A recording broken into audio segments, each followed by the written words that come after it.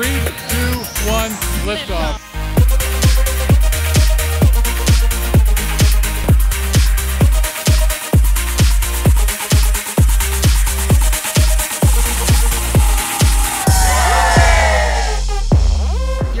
2018 under two space shuttles, coast to coast. If you are a space fan and you are not at Yuri's Night, you are not a space fan. So excited to be here under Atlantis for Kennedy Space Center's Yuri's Night. Y'all come next year.